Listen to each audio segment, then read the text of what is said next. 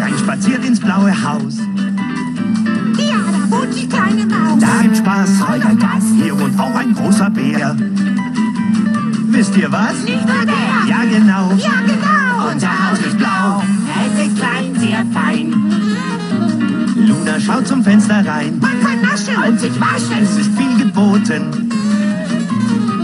Stadt ist verboten. Ja, genau. Unser Haus ist blau.